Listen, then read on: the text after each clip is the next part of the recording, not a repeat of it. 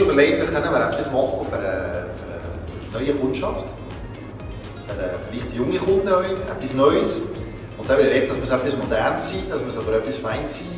Und dann haben wir äh, die äh, Kiss-Linie kreiert. Und da haben wir den Pinky Kiss, den äh, Ruby Kiss und den äh, Fizzy Kiss. Es soll etwas Neues sein. Es soll vom Druck her etwas Neues sein.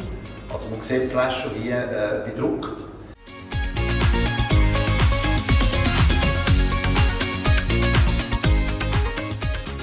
Ich glaube, das Resultat kannst du einfach sehen. Es ist eine sehr schöne Sache. Es ist eine Flasche, die auffällt.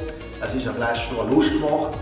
Es ist, das Feedback, das ich von den Kunden habe. Äh, die wollen probieren, die wollen schauen, was drin ist. Und die sind äh, im Gro zum grossen Teil sehr überrascht und sehr überzeugt von, von dem. Und die können uns. Von dem sind wir sehr zufrieden, was wir.